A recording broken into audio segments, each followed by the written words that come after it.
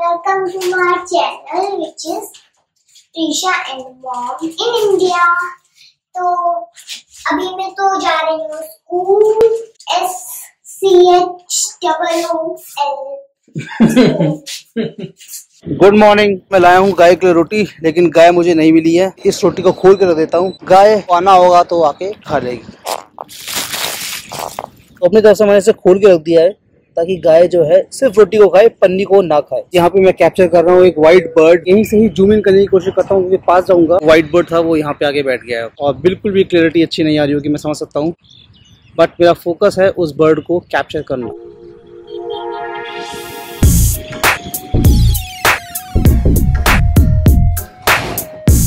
तबीयत बहुत ज़्यादा ख़राब थी तो आज का जो ब्लॉग है लास्ट ब्लॉग ये थोड़ा सा लेट ही आएगा। तबीयत ख़राब होती है तो घर पूरा ऐसा हो जाता है कि सब चीज़ अस्त व्यस्त। तो उस टाइम पे लगता है कि कोई नहीं यार जो चीज़ जहाँ पे है वहीं पे पड़ी रहे कोई नहीं। जैसा आपने मेरा लास्ट ब्लॉग देखा है करवा चौथ का उसमें मेरी तबीयत बहुत ज़्यादा ख़राब हो गई थी। शांति का favourite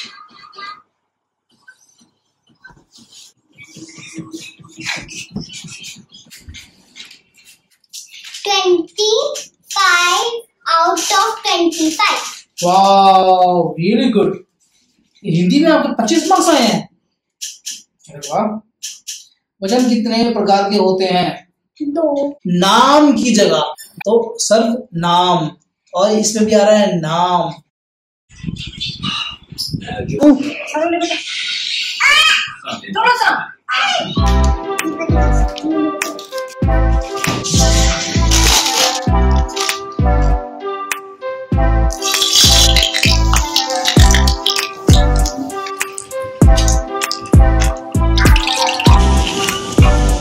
कैसे हो रहा है? प्रिशा टेस्टी है समोसे। समोसे या फिर समोसी? स्टफ़ मैंने कहा था ना उसका थोड़ा सा गर्म होगा। आराम से खाओ आराम आराम से। अंदर तो गर्म होगा ना? पिज्जा समोसे?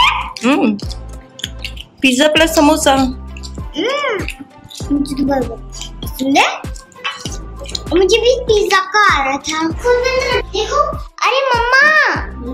आपने कुछ बनाया है? दीवार के लिए हैंग करने के लिए ऊपर।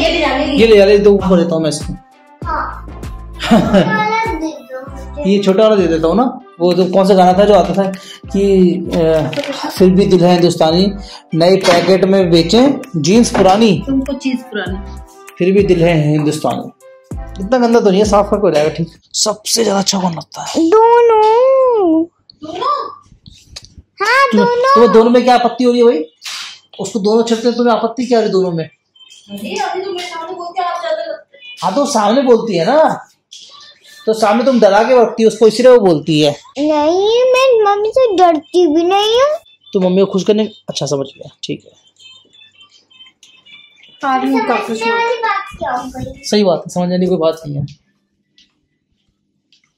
और ये हैं हमारे देश के सिपाही। जो कॉकरोच मारते हैं। फाइटर लोग हैं फाइटर लोग। एक था ना यहाँ पे कॉकरोच था इसमें मेरे को इसको यहाँ मत रखो यार। उनको नहीं नहीं मैं रख रही हूँ अपनी वो खाने की चीज़ें होती रहती है। पापा बोल रही थी। अब मुझे मेरे डिश डाल दो और आप डाल दो। ए गिरा दिया फ़ोन।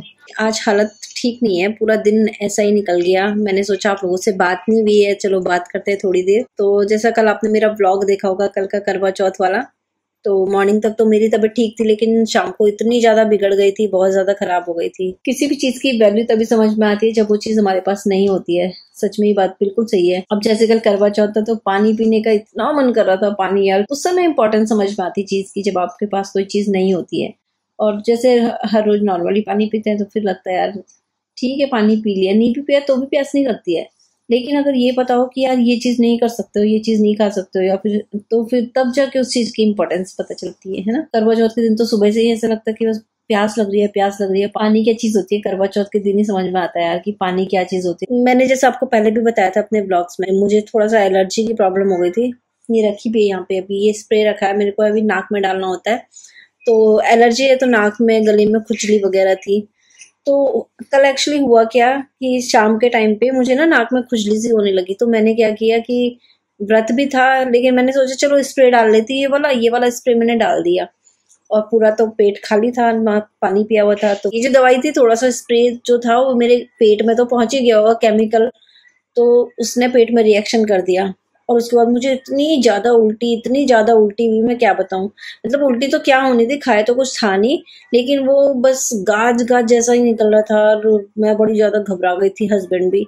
मतलब मेरी इतनी हालत ख़राब हो गई थी कि मैं कल पूजा भी नहीं कर पाई दिया जलाने, शाम को जो आरती होती ना उसको जो दिया जलाने के लिए भी मैं बिल्कुल ऐसी हो गई थी कि मतलब वहीं पे मैं तरसा ही हो गई थी। जब मुझे लगा कि हाँ उल्टी करके थोड़ा सा मैं ठीक फील कर रही हूँ मैंने फटाफट से खाना बना दिया। और कल तो जैसा आपको पता ही है कि चाँद ने तो भैया तो कई जगह तो दिखा ही नहीं यार। मतलब पहली बार ऐसा हुआ करवा चौथ में कि चाँद ने धोखा दे दिया। ससुराल में वीडियो कॉल कर, किया इन्होंने तो फिर उसके बाद वहाँ पे जाके, वहाँ का चाँद देखा।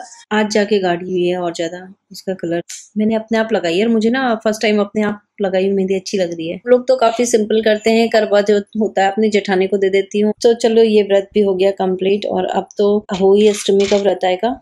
और उसके बाद तो फिर धनतेरस दिवाली भैया दूज ये सारे फेस्टिवल रहेंगे। Shana I love you I love you नींद आ रही है। मुझे पता नहीं कि दवाइयाँ खा रही हूँ तो मुझे नींद आ रही है। फिर आपसे अगले दिन मुलाकात होगी। फिर नेक्स्ट ब्लॉग में, एक नए ब्लॉग में आप लोगों के साथ शेयर करूँगी। हाँ तब तक के लिए आप लोग भी अपना ख्याल रखिएगा। Okay bye bye